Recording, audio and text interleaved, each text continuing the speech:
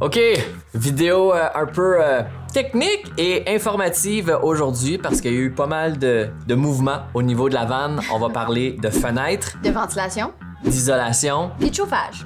C'est parti mon kiki. Hello people, on est Alexis MJ et on est nomade depuis 2016. On habite un peu partout, dans des Airbnb, un mode de vie qu'on aime beaucoup.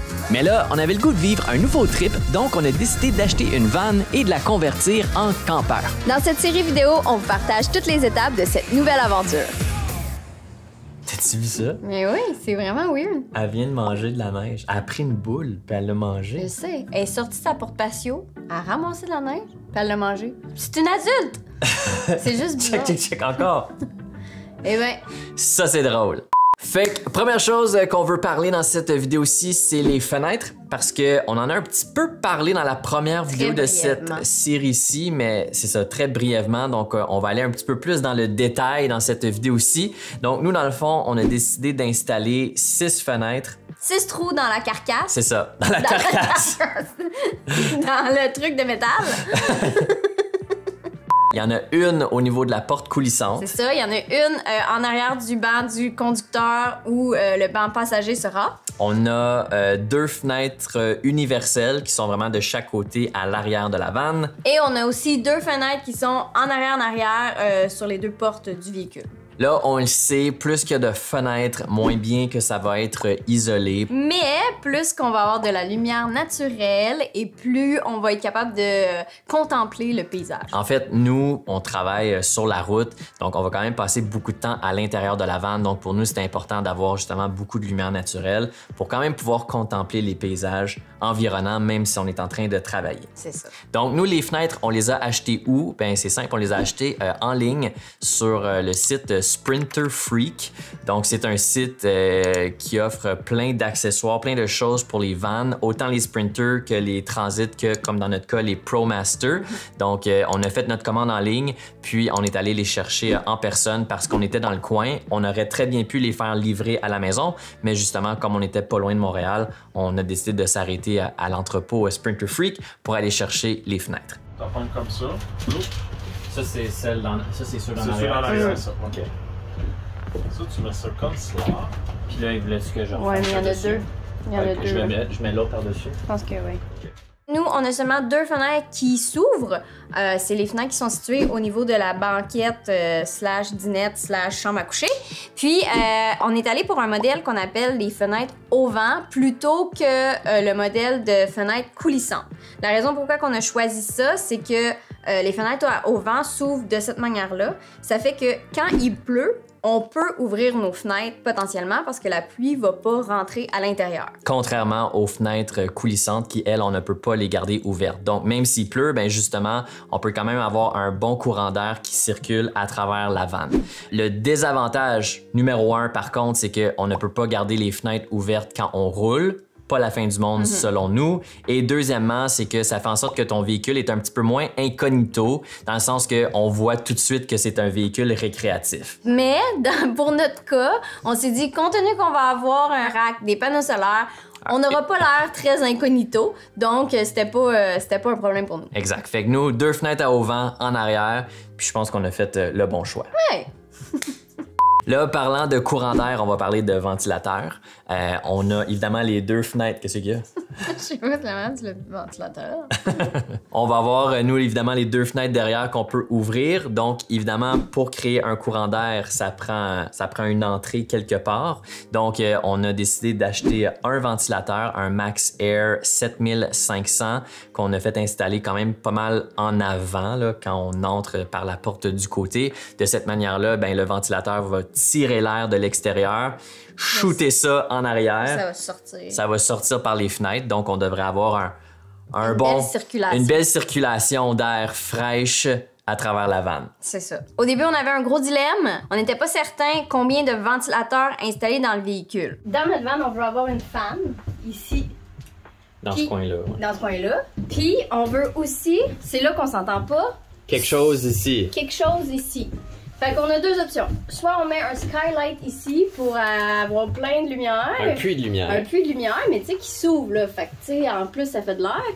Ou au bedon, Une deuxième fan. une deuxième fan qui fait en sorte qu'il y a comme un... Meilleure, une Une meilleure circulation. circulation d'air. Bon, moi, Team MJ, c'est le skylight. Et moi, Team Alex, c'est une deuxième fan. Vous autres, vous êtes dans quelle équipe? Et là, vous êtes vraiment plusieurs à nous avoir euh, donné euh, vos conseils. On a analysé tout ça. On a vraiment analysé Oui. tout ça. Là. Ça nous a vraiment aidé pour vrai.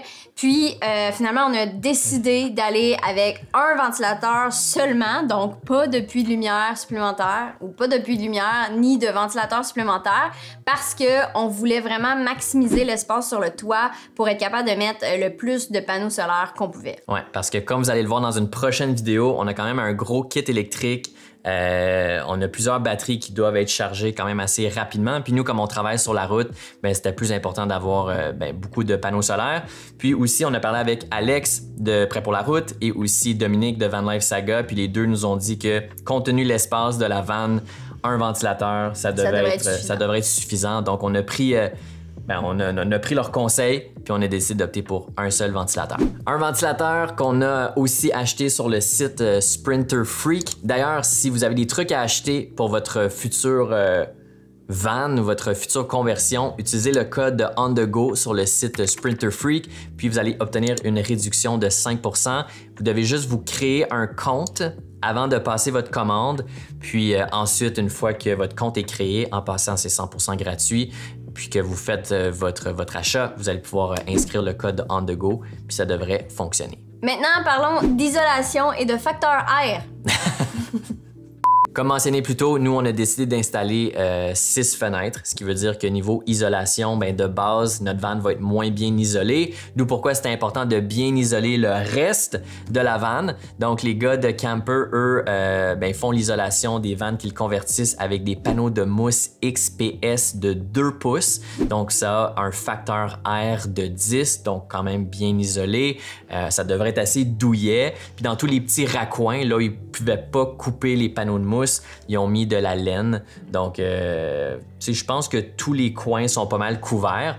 Puis au niveau du sous-plancher, comme on en a parlé dans euh, la vidéo précédente, on a mis un panneau de mousse de 1 pouce du Poly ISO. Là, si ça avait été nous qui avions fait la conversion de la vanne, moi j'avais fait quand même pas mal de recherches. J'aurais installé du Thin Sulit SM600L.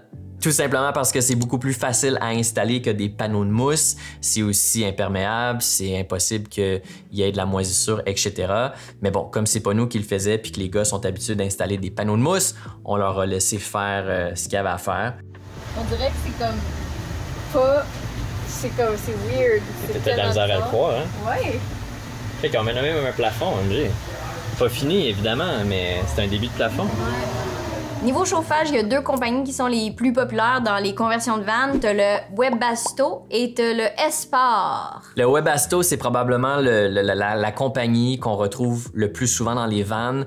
D'après moi, parce que c'est un petit peu plus avantageux financièrement, est un petit peu moins coûteux que le Espar. Euh, mais nous, on a quand même choisi euh, d'opter pour la marque Espar. Le modèle, c'est le B4L M2 parce que avec le Espar, tu peux te permettre d'aller dans des plus hautes altitudes sans que ton système de chauffage lâche. Avec le Webasto, par exemple, tu peux aller jusqu'à euh, des altitudes de 5000 pieds ou 1,5 km. Mais quand tu dépasses ça, il y a des bonnes chances que ton système il décide d'arrêter de fonctionner. Et c'est ce qui est arrivé à Dom de Van Life Saga. Dans le fond, c'est grâce à sa vidéo que, que j'ai pris la décision qu'on allait choisir un Espar euh, parce que ça leur est arrivé dans le Colorado, si je me trompe pas. Ils étaient dans des hautes altitudes, puis euh, ben, eux, il y avait un Webasto, ça a lâché, il y avait plus de chauffage, donc depuis ce temps-là, ils ont opté pour des Espars dans leur van. Puis le Espar, lui, il peut aller jusqu'à 3 km, donc 9900 pieds d'altitude. Fait que ça, euh, on, est, on est bon en On est large. là. En, en principe, on devrait pas dépasser ça. là. Ouais, puis c'est peut-être du overkill, mais au moins on sait qu'on devrait être correct, On peu de importe où ce qu'on ira. Parce qu'avoir fret, c'est de la merde. fait que that's it. C'est tout. Euh, on vous avait averti, c'était une vidéo très informative et très technique. Mais on espère que ça va ça. vous aider dans votre future euh, conversion. On va pas se le cacher, on a passé plusieurs semaines à faire que de la recherche, à savoir qu'est-ce qu'on allait mettre dans cette vanne-là. Puis ben jusqu'à présent, on est bien satisfait des choix qu'on a, qu'on a fait. Puis ben on espère que ça peut euh, vous aider, puis vous, euh, vous, euh, vous, vous, vous enlevez quelques mots de tête ça. dans vos recherches. Exactement. Fait que laissez un like sur la vidéo, abonnez-vous si c'est pas déjà fait, partagez en grand nombre, ça nous aide toujours. Puis nous, ben, on se revoit la prochaine fois. Ciao! Salut!